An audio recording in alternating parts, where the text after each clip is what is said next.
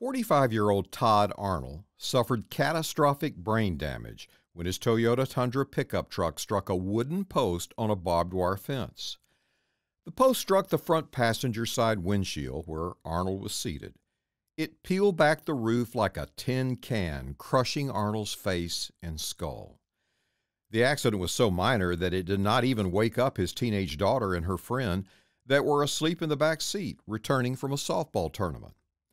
When Arnold purchased the truck from Don Davis Auto Group of Arlington, their salesman assured Arnold nothing like this could ever happen because the truck was built with the revolutionary new Super Steel.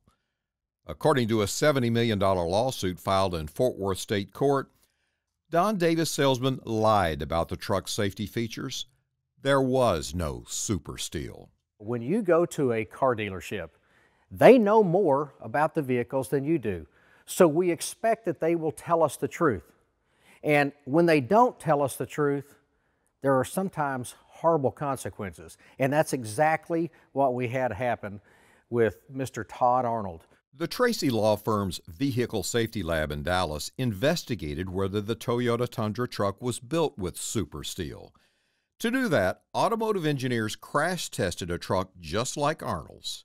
It used the same wooden fence post from the accident and reproduced the accident forces.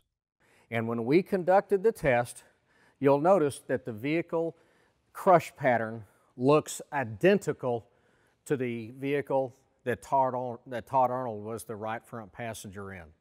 And when we did this test, the crush was so bad that it actually damaged the seat just like the seat had been damaged in the Arnold accident. Next, Tracy's Vehicle Safety Lab conducted a similar comparison crash test using a Volvo XC90. The Volvo is actually built with super steel. So what we did is we ran the identical test, except this time we increased the energy by 10%. And when we took the post and struck it on a vehicle that, you, that we know has super steel, the post literally bounced off of the roof structure. There was no vehicle intrusion. The occupant that was in the right front passenger seat was protected and they wouldn't have been injured if the vehicle had super steel in it. So what did we learn from the testing? We learned that the Don Davis Auto Group salesman had lied. Now, what did I say at the beginning? Words matter. They believed that salesman when he said the Toyota Tundra has super steel. And they, that convinced them to buy the vehicle. The $70 million lawsuit also alleges that the Don Davis Auto Group salesman fabricated a story that the Toyota Tundra pickup was safer and tougher than any Chevrolet, Ford, or Ram pickup truck.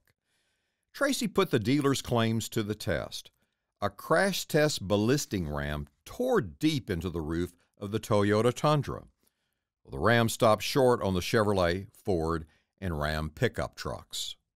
So, when, they, when you compare what the salesman said, that the Toyota Tundra was the strongest roof in its class, that it was safer than the Chevy Silverado, the Ford F-150, or the Dodge Ram, when you put that statement to the test, the myth is exposed.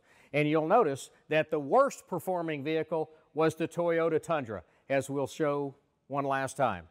What is revealed here when the engineering is conducted is that the Don Davis Auto Group salesman lied.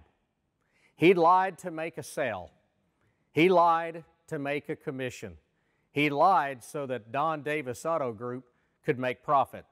And because he lied, a vehicle was sold under false pretenses. And again, words matter.